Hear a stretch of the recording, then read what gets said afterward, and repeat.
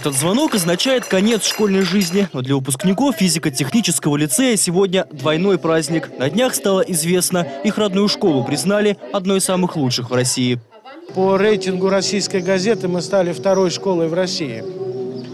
Рейтинг без правил, рейтинг общественного признания, то есть самое ценное, что может быть для общеобразовательного учреждения.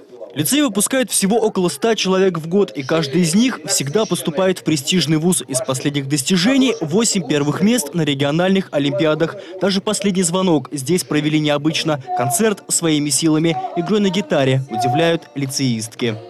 У нас очень многие выступают, и э, учителя приветствуют это, отпускают с уроков, и к этому очень хорошо относятся, на самом деле. М, Учителя уважают тех, кто выступает. Как по сценарию? Я не знаю, так сказать. Скажите, как по сценарию. Сегодня все экспромтом глава региона решил лично провести последний урок. Тема дня – взрослая жизнь. Спрашивали ученики о разном – о бюджете, о спорте, образовании. Но больше интерес вызвали школьные годы самого губернатора. Ипатов признался, стать большим чиновником мечтал с юных лет. Когда я заканчивал институт, то я сказал, что я буду первым заместителем министра. Это у меня, так сказать, была такая планка. Федеральным. Да, федеральным министром, конечно, самое. А в то время был Советский Союз, и быть федеральным министром, или даже его первым замом, это нужно было очень много работать. А потом вот стал губернатором. Честно скажу, не планировал.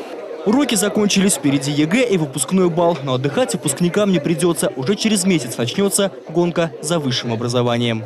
Михаил Терентьев, Валерий Богословский. Новости. Телеобъектив.